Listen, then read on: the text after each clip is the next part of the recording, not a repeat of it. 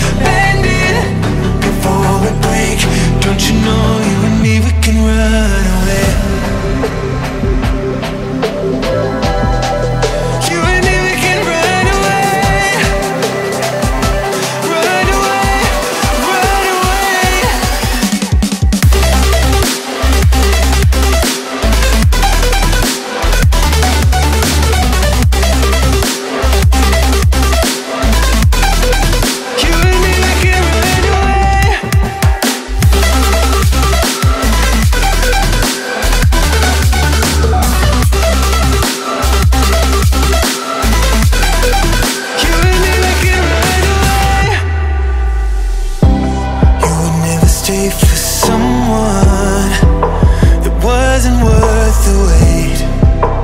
Counting down the days. Uh, mm.